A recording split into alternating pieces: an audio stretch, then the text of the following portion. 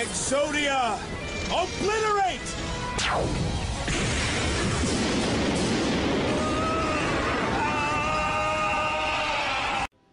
Hey, what is up guys, the Dragon Nose here, and today I'm going to be opening a Target blister pack. Um, it has uh, 40 sleeves, one blister pack, and two promo cards.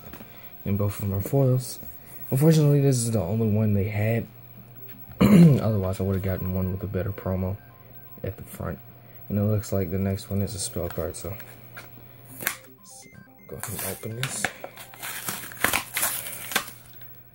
Got looks like two packs of 20.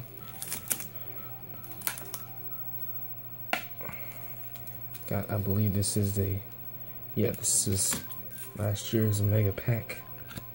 We got Kunai Chain and Murmur of the Forest from the uh, Battle Pack 3, I believe.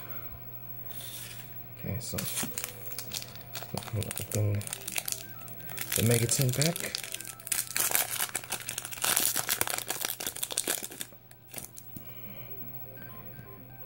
Uh, Fire Ferret, Memory Loss, Gravekeeper's Ambusher, Five Brothers Explosion, Cheap Cheap Cheap, Baby Raccoon Ponpoko, Harpy's Fit, Phantasmal Dragon, uh, Return of the Monarchs, ooh, Armades, and Evil Swarm Krakion, Kerykeion.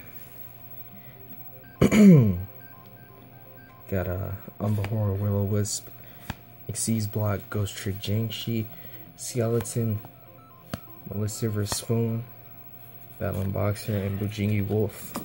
So, pretty much, Armades makes the whole thing uh, good. and I also didn't have that yet, so that's pretty cool.